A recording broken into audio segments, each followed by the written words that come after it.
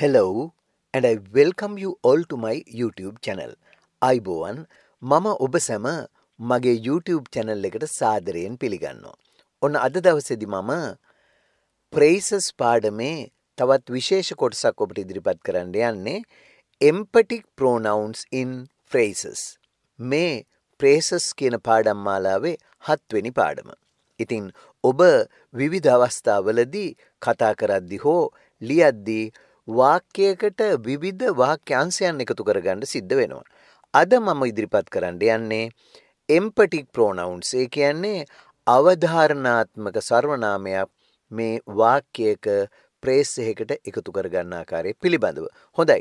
ඉතින් අදත් වෙනද වගේ පාඩම පටන් ගන්න මත්තෙන් ඔබ තාමත් මගේ channel එක subscribe කරලා නැත්නම් දැම්මම subscribe කරලා පාඩම අවසන් වෙනකම් බලන්න ඔබට පුළුවන් එම්පටික් ප්‍රෝනවුන්ස් ටික ඉගෙන ගන්න අතරෙම ඒවා ප්‍රේස් එකක් විදිහට වාක්‍යයක යොදාගෙන කතා කරන්නත් ඉංග්‍රීසි ලියන්නත්. හොඳයි අපි එමු අද පාඩමට.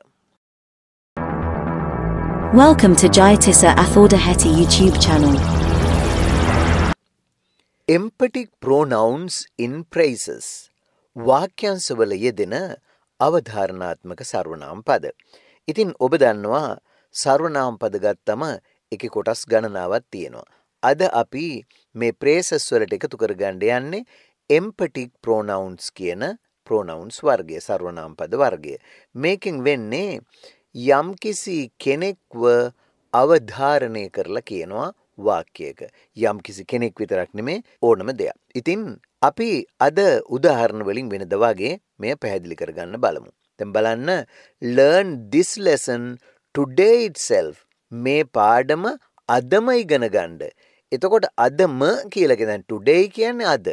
එතකොට ඒක කාලය පිළිබඳ වචනය.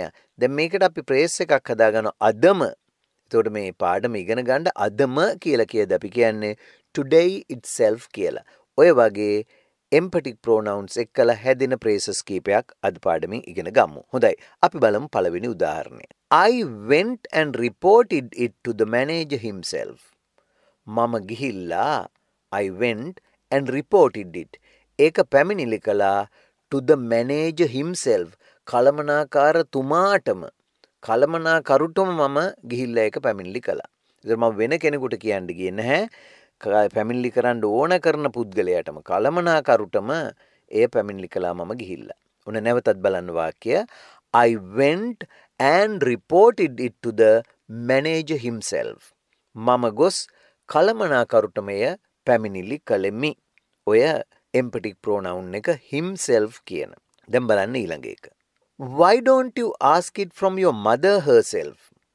ඔබ එය ඔබේ මවගෙන්ම නොවසන්නේ ඇයි? ඇයි ඔයා ඒක ඔයාගේ අම්මගෙන්ම අහන්නේ නැත්තේ? ආයෙ වෙන කාගෙන්වත් අහන්න නැතුව අම්මගෙන්ම ඔයාගේ මවගෙන්ම අම්මගෙන්ම කියලා කියන්න අපි කියනවා from your mother herself. එතකොට මේ from your mother herself කියන කොටස තමයි praise එක. ඒකේ herself කියන එක තමයි emphatic pronoun එක. ඒක සම්බන්ධ වෙනවා අම්මගෙන්ම කියලා කියන්න mother herself කියලා යොදා ගන්නවා. එහෙමනම් නැවතත් බලන්න වාක්‍ය ඔබ එය ඔබේ මවගෙන්ම නොවසන්නේ ඇයි? ඇයි ඔයා ඒක ඔයාගේ අම්මගෙන් අහන්නේ නැත්තේ? එතකොට අපි ප්‍රශ්නේ එතකොට අපි වාක්‍ය ගොඩනගා ගන්නවා ඉංග්‍රීසියෙන් මේ විදිහට why don't you ask it from your mother herself? why don't you ask it from your mother herself? හොඳයි. මේ බලන්න ඊළඟ එක. ඔබට එය අදම ඉවර කරන්න බැරිද? ඔයාට ඒක අදම ඉවර කරන්න බැරිද? can't you finish it today itself? can't you finish it today itself? දැන් මොකක් හරි වැඩක් තියෙනවා ඒක ඉවර කරගන්න ඕන. අපිට ඕන මේක අදම ඉවරයක් කරලා දාන්න. ඉතින් අපි මේ වැඩේ කරන කෙනාගෙන් අහනවා ඔයාට අදම මේක ඉවර කරන්න බැරිද? මොකද එහෙම කරගත්තොත් අපිට හොඳයි. එහෙමනම් කොහොමද අහන්නේ? can't බැරිද? you ඔයාට finish ඉවර කරන්න. can't you finish it ඒක today itself කියන්නේ අදම එය අදම ඔයාට ඉවර කරගන්න බැරිද කියලා අහන්න එහෙනම් කොහොමද? Can't you finish it today itself? Can't you finish it today itself? ඔයාට ඒක අදම ඉවර කරන්න බැරිද? හොඳයි. මේ තවත් උදාහරණයක් බලන්න.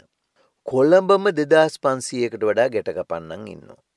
කොළඹම කොළඹම විතරක් ඉන්න අන්නේ වගේ අදහසක්. ඒතර මේක අවධාරණය කරනවා. කොළඹ නගර විතරක් 2500කට වඩා ගැට කපන්නන් නැත. හරි බලමු කියන හැටි. there are ඔබ දන්නවා there are කියන්නේ තියනවා කියන්නේ එහෙම නැත්නම් ඉන්නවා කියන්නේ there are more than 2500 pickpockets. there are ඉන්නවා more than 2500 2500කටත් වඩා pickpockets පිට්පොකිට්ස්ලා කියන්නේ ගැට කපන්නන්. in Colombo itself in Colombo itself කියපු ගමන් අවධාරණය කරලා කියනවා කොළඹම විතරක් කියන්නේ කොළඹම කොළඹම 2500කට වඩා ගැට කපන්නන් නැත. There are more than 2500 pickpockets in Colombo itself. There are more than 2500 pickpockets in Colombo itself. කොළඹම 2500කට වඩා ගැට කපන්නන් ඇත. හොඳයි. මේ තවත් උදාහරණයක්. නැවත වරක් මට ඔහු හෝටලයේදිම මුණ ගැසුණා. නැවත වතාවක් මට ඔහුව හෝටලයේදිම මුණ ගැසුණා. එතකොට අර මුණ ගැහිච්ච තැන අපි අවධාරණය කරන හෝටලයේදිමයි ආය වෙන කොහෙදිවත් නෙමෙයි. එහෙනම් අපි ඉංග්‍රීසියෙන් කියනවා මේ විදියට once again I met him at the hotel itself. once again කියන නැවත වතාවක්. I met him මට ඔහුව හමු වුණා. I met him කොහෙදද? at the hotel itself හෝටලේදීම නැවත වරක් මට ඔහුව හෝටලේදීම මුණ ගැසුණා once again I met him at the hotel itself නැවත වතාවක් මට ඔහු හෝටලේදීම මුණ ගැසුණා Let's listen to the sentence again. Once again I met him at the hotel itself. මේ බලන්න ඊළඟ එක. ඔබ ඇගේ දෙමව්පියන්ටම කතා කරලා ඔවුන්ගේ කැමැත්ත නොගන්නේ ඇයි? දැන් ඔය තැන් තැන් වල කියන්නේ නැතුව ඒගොල්ලන්ගේ කෙලින්ම ගිහිල්ලා දෙමාපියන්ටම කතා කරලා ඒගොල්ලන් කැමැත්ත නොගන්නේ ඇයි ඔයා? එහෙනම් කොහොමද අහන්නේ? Why don't you speak to her parents themselves and get their consent? නැවතත් බලන්න. Why don't you speak to her parents themselves? ඔයා එයාගේ දෙමාපියන්ටම කතා කරලා and get their consent. ඔවුන්ගේ කැමැත්ත නොගන්නේ ඇයි? නැවතත් බලන්න. ඔබ ඇගේ දෙමාපියන්ටම කතා කර ඔවුන්ගේ කැමැත්ත නොගන්නේ ඇයි?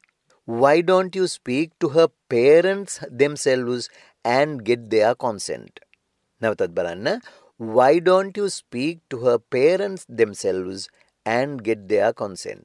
ඔයා ඇගේ දෙමාපියන්ටම කතා කරලා ඒගොල්ලන්ගේ කැමැත්ත නොගන්නේ ඇයි? යම් කිසි කෙනෙකුට අවවාදයක් දෙනවා මෙහෙම කරන්නකො එයාගේ දෙමව්පියන්ටම කතා කරලා ගන්නකො කියලා කියද්දි why don't you speak to her parents themselves අන්න අවධාරණය කළා ඇගේ දෙමාපියන්ටම ආයි වෙන කාටවත් නෙමෙයි. Her parents themselves and එහෙම කතා කරලා get their consent. ඒගොල්ලන්ගේ කැමැත්ත ගන්න. ඇයි එහෙම නොකරන්නේ? Why don't you speak to her parents themselves and get their consent? හොඳයි. මේ බලන්න ඊළඟ එක.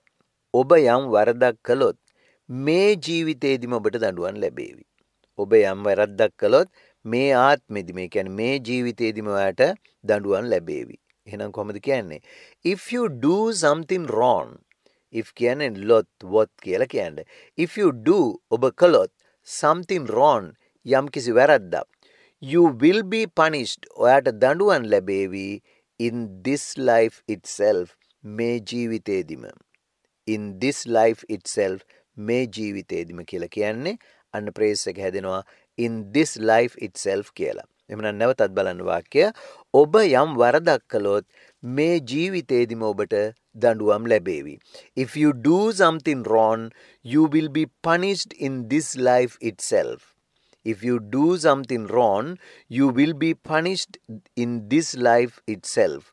ඔබ යම් වැරද්දක් කළොත් මේ ජීවිතේදිම ඔබට දඬුවම් ලැබේවි. හොඳයි මේ බලන්න ඊළඟ එක. මම ඒ පොත ඔබේ බිරිඳටම ආපසු දුන් බව සහතිකයි. මට හොඳටම විශ්වාසයි මං ඒ පොත ඔයාගේ බිරිඳටම දුන්න. එයාගේ අතටම දුන්න. එතකොට අපි ඒක කියනවා I'm sure I returned that book to your wife herself. I'm sure මට සහතිකයි. I returned that book මං ඒ පොත ආපහු දුන්නා to your wife herself. ඔයාගේ බිරිඳටම යාගේ බිරිඳගේ අත්තටම අපි සිංහල කතා කර දෙහෙම කියන්නේ. එතකොට නැවතත් බලන්න මම ඒ පොත ඔබේ බිරිඳටම ආපසු දුන් බව සහතිකයි. I'm sure I returned that book to your wife herself. එතකොට to your wife herself කියන්නේ ඔයාගේ බිරිඳටම ඔය ප්‍රේස් එක එතකොට හැදුනේ අර herself කියන එම්පටික් ප්‍රෝනවුන් එක අවධාරණය කරන සර්වනාම පදයත් එකතු වෙලා. ඒකයි මේවට අපි එම්පටික් ප්‍රෝනවුන්ස් කියලා කිව්වේ. හොඳයි. එහෙනම් බලන්න නැවතත් වාක්‍යය මම ඒ පොත ඔබේ බිරිඳටම ආපසු දුන් බව සහතිකයි. I'm sure I returned that book to your wife herself. හොඳයි. ඉතින් එහෙමනම් ඔන්න අද දවසේදී මම ඔබට ප්‍රේසස් පාඩමේ හත්වෙනි කොටස ඉදිරිපත් කළේ මෙහිදී ඔබ ඉගෙන ගත්තේ එම්පටික් ප්‍රෝනවුන්ස් කියන myself, yourself, herself, himself, themselves වැනි එම්පටික් ප්‍රෝනවුන්ස් මේ ප්‍රේස් එක් කළ යෙදෙන ආකාරය පිළිබඳව. හොඳයි. ඉතින් එහෙමනම් ඔබ ඉගෙන ගත්ත මේ පාඩමත් දෛනික භාවිතයට අරගන්න ඒ වගේම අදත් සමුගන්න මත්තෙන් මම ඔබෙන් ඉල්ලා සිටිනවා ඔබ තාමත් මගේ channel එක subscribe කරලා නැත්නම් දැම්මම subscribe කරන්න like එකකුත් දාන්න ඒ වගේම මේ පාඩම් ඔබේ යහළු යෙහෙලියන් සමග බෙදා හදාගන්නත් අමතක කරන්න එපා. ඒ එක්කම මේ පාඩම් පිළිබඳ ඔබේ අදහස් උදහස් යෝජනා ඒ වගේම චෝදනා වුණත් තිබෙනවා නම් පහල කමෙන්ට්ස් වල දාන්න. එතකොට මට පුළුවන් මීට වඩා හොඳ යමක් ඔබට ඉදිරිපත් කරන්න. මොකද ඔබේ කමෙන්ට්ස් හරිම වටිනවා. හොඳයි. ඉතින් අදට සමුගන්නවා ආයේ තවත් මේ වගේ පාඩමක් අරගෙන ඔබ හමුවට එන බලාපොරොත්තු වෙන්න. Goodbye and good luck. If you like this video, please like, share, comment and subscribe to our channel. Thanks for watching.